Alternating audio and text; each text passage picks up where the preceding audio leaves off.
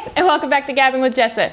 In today's video, I'm going to be doing a book review on the first book that I pre-ordered in so long. I can't even remember the last time that I was this excited for a new book or a new release or anything because I'm finally up to date on what is and isn't getting released. Today I'll be doing a spoiler-filled review on the Ballad of Songbirds and Snakes by Suzanne Collins. For those of you who are unfamiliar, Suzanne Collins is the author of the very well-beloved Hunger Games trilogy consisting of The Hunger Games, Catching Fire, and Mockingjay. And after nearly a decade of those books being published and the movies first being released, she has released a prequel book set 64 years before the original Hunger Games. Of course, being 64 years before, we don't have any of the familiar characters that we were expecting when we first heard a prequel trilogy. I first thought it was going to be Haymitch, but then when I heard it was 64 years before, I was like, no, that's no way. He was in the 50th Hunger Games, and 64 years before would be the 10th Hunger Games. This book follows President Snow uh, as he is an 18 year old living in the Capitol, and I know a lot of people were nervous about this at first because he is the villain of the Hunger Games trilogy. We didn't want to sympathize or empathize with him. When I was first interested when I first heard about this. I'm like, that's not what Suzanne Collins is going to do. I don't think that she's going to make us empathize with him just because he is the villain. I know that I'm definitely not the majority, but I love village and origin stories because I'm always just so fascinated on the paths that they took in their lives to end up where they are, whether that be maybe something they're innately born with, like maybe some kind of a drive, or if they had events that happened to them. And so I was so fascinated to read this. I could not wait. So, like I said, this follows the events of President Snow during the 10th Hunger Games.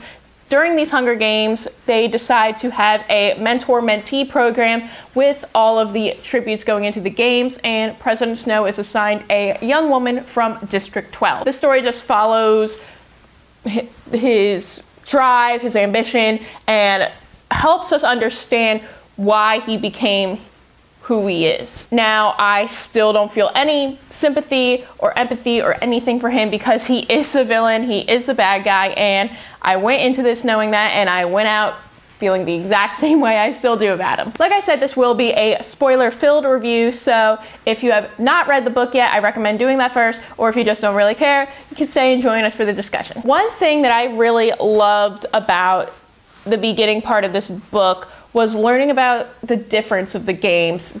We know from Katniss and Peeta, they were basically treated like royalty. All the other tributes, they stayed in these very nice mansions. They had these lavish interviews and training sessions, and they were well fed and everything like that. But that is the exact opposite of what is going on during these games. They are treated like prisoners, which I mean, they kind of are, but they are like they have shackles on the whole time, and even at one point, they throw them into the monkey cage at the zoo just so they can be basically animals for the capital to watch. That's what it is. And that was so surprising to me. I loved learning about how the games transformed from what they were into what they are now. A lot of how the games are, we find out throughout this book, is because of Snow. And he says, oh, it should be a law to watch the Hunger Games because none of them ever do. They should be treated better. They should.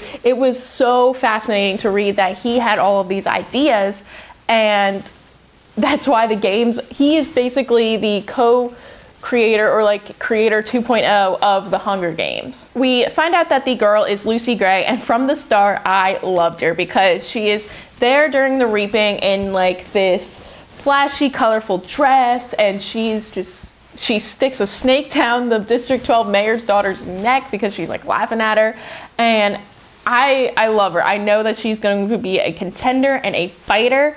And I loved her. What was really fascinating about this as well was how much went on before the games that I am still so surprised that they even had the games in the end because they didn't even have the full set of 24 tributes. One of the interesting things that I thought during this whole zoo scene was after President Snow, who I kept wanting to call like Cornelius the whole time or Coriolis because I what is his name? Coriolanus. So he goes to the zoo and he's like feeding Lucy Gray and then his buddy Sejanus, who I love as well. We'll talk about him more later. They go and they're feeding the tributes. So the other mentors kind of get the idea too because they want to have that good relationship that they see forming between Lucy Gray and President Snow. However, one of the mentors I think her name's like Ar- Arkine, I think that's how you pronounce it. She taunts her tribute from District 10, I believe her name is Brandy, with a sandwich and she ends up eating it. So, of course, this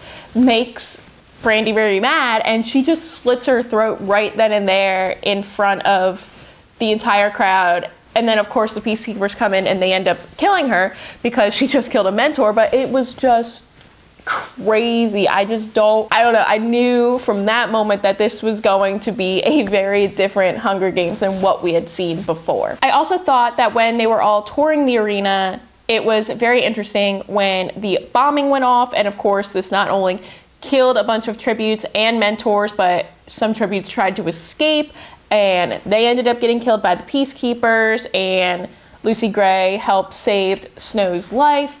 So now he feels kind of like in debt to her. And this is where like the weird little obsessive romance, I guess you could call it. I call it more like chemistry rather than romance, even though I knew that this kind of relationship thing wasn't going to last because he was so possessive of her. Like from the beginning, he's like, This is my girl, this is my tribute.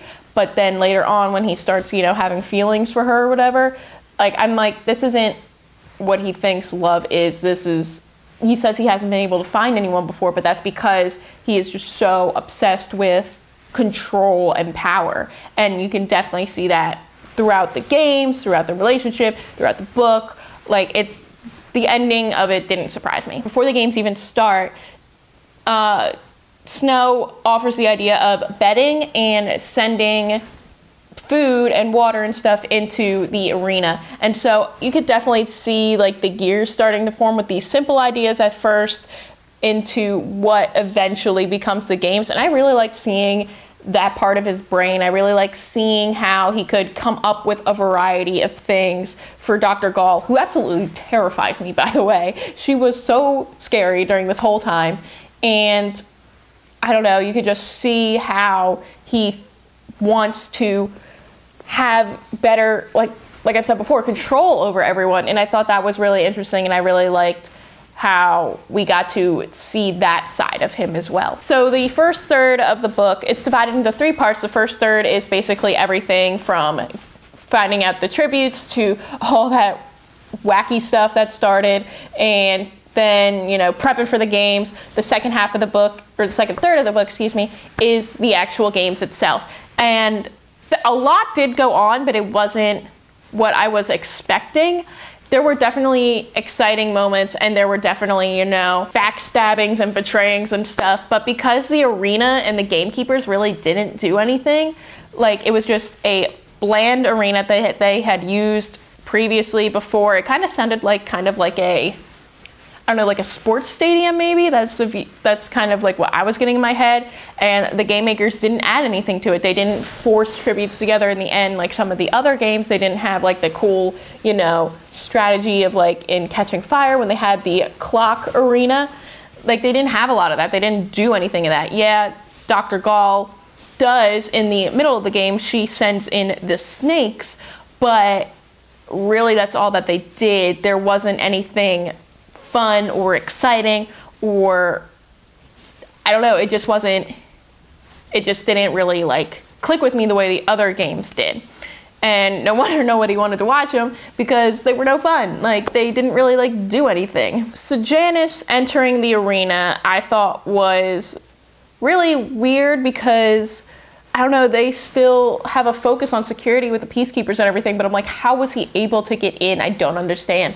Was it something that like Dr. Gall made him do or like let the peacekeepers get him in and then so that way they can send snow in she can send like snow in there or like I don't I don't really know where this like I don't know where the security was for this, but I do love Sejanus. I love what he's trying to do. He is a district boy at heart, even though he is now currently part of the capital, and he is just such a he's such a sweet boy, and I love him. He was definitely my favorite character because he's always trying to do right. He might not think it through very well, but he's always trying to do good, and that just makes my heart happy. Throughout the games, I think that Lucy Gray, well, at first when I was first reading this, then when I got to the third part, but I thought that she was definitely trying to play a more defensive game rather than an offensive game. She didn't really want to kill anyone. That was the vibe I was getting from her. And then we had the whole thing with the snakes come in, and of course, Snow cheated by dropping the handkerchief with both his DNA and her DNA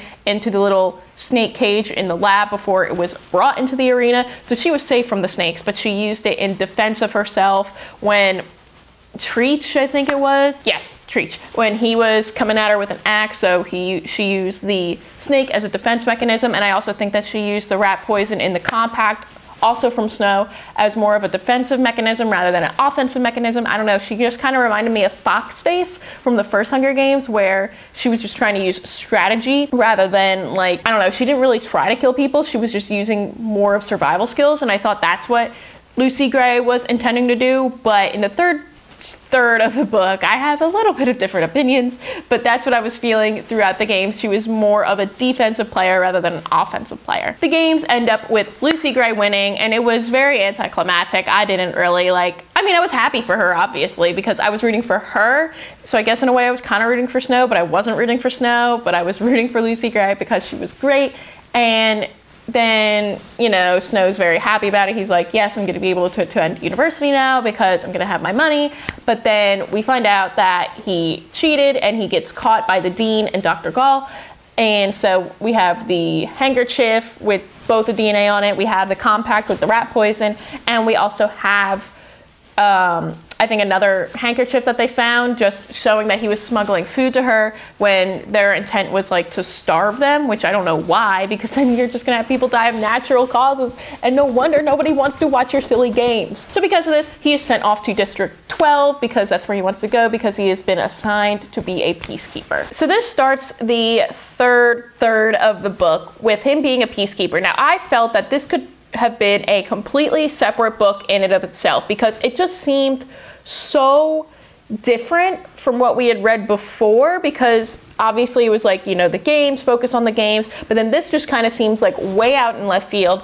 And not that i didn't enjoy it it was a little bit slow but i still enjoyed it because i really enjoy suzanne collins's writing. I feel like that after every chapter she ends on some kind of a cliffhanger or a big moment and she just makes me want to keep reading even when it's very late in the night and my eyes are practically closed i want to keep going and i really enjoy that about suzanne collins's writing i really like that about these books. But I don't know, this third, I'm still trying to grasp my feelings on it because it was just so out there and so random. Like I said, this could have been maybe a novella in itself and I would have been happy with it. It just seems so random, but again, I enjoyed it because of the building of the backstory of Snow, whereas in these first two thirds, I was starting to be like, okay, like I can see where he, every time he was going to say or do something that I thought was going to be good, I was rooting for him. And of course, he wasn't going to do that.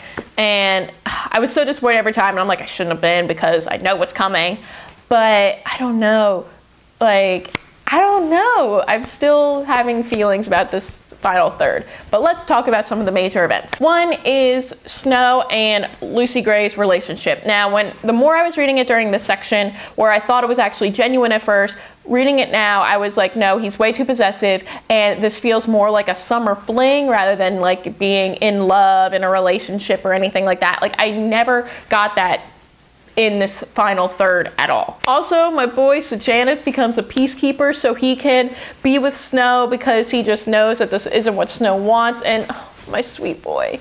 And he's planning to escape with some of the rebels, which like that's what Snow kept calling them the whole time, but I never really called them rebels. They just wanted freedom. They wanted to escape. He's trying to help them out, and it's just a, it's a sweet boy. But of course, Snow doesn't like that at all. He doesn't like the idea of the rebels, and you can see more of future snow coming out of him in this third, which is why I also enjoyed it too. We have the moment where during one of the concerts at the Hob, Sejanus goes out to a little shed to discuss weapons and stuff and Snow is like suspicious of him. So he you know follows him in there and stuff. And then so much happens. We have you know the mayor's daughter coming in and the Billy whoever I forget his name um, who is like I guess Lucy Gray's old fling thing who's now going after after the mayor's daughter and she, like she likes it or whatever, but the mayor doesn't like him.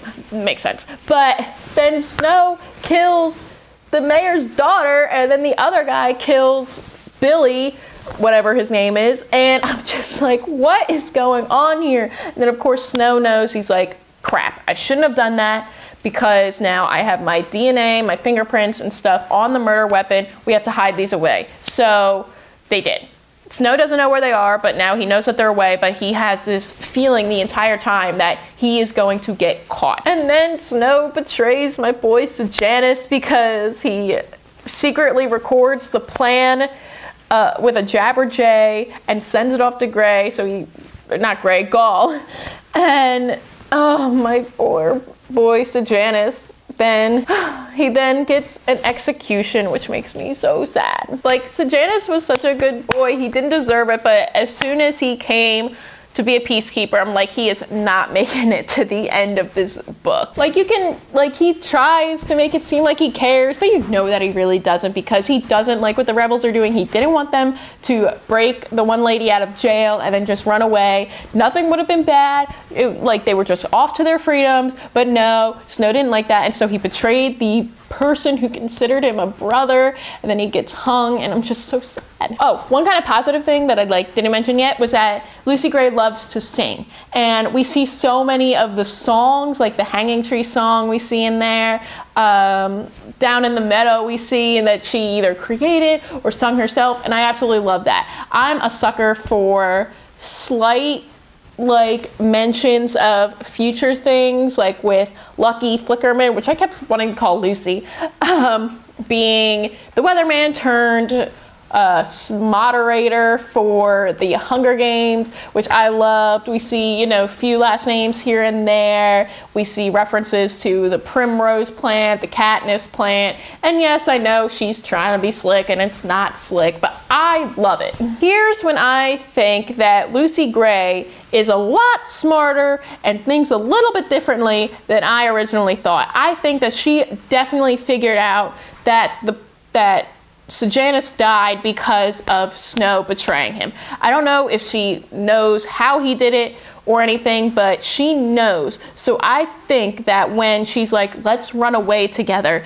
and Snow, you know, was freaking out after Sejanus' death because, you know, the murder weapon with my DNA is still out there somewhere, and I need to get it, or else, like, I'm, I, I can't continue on. I can't go and be an officer. I can't do anything because the murder weapon is still out there. And I think Lucy Gray is a lot smarter than we give her credit for. And not that I didn't think she wasn't smart, but I think that she definitely was playing Snow just a little bit. So she convinces the two of them to run away together.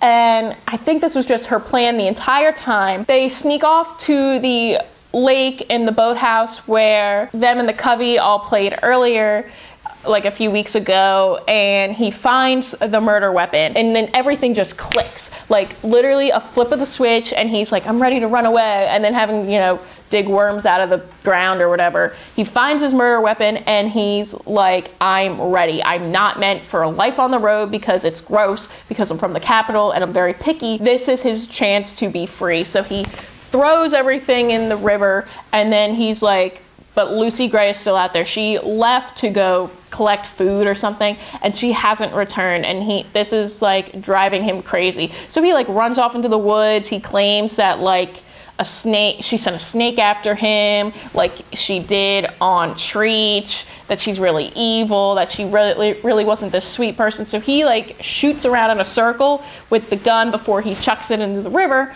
and we hear a screech, so we're not sure if Lucy Gray is dead or not. I really hope not. I hope she's out there somewhere. Not that she like does anything to Snow because we know that like he lives. I just want her to still be alive. This one person he thought he could control and do anything he wanted to with that she was his and not like a mutual relationship or anything that she is still out there and it is the one thing that bothers him to this day that he cannot control. And I think that he relays those feelings later on to Katniss because when she starts to go and do things, this is just, I think, a reminder of him that he can't control everything that he wants to control.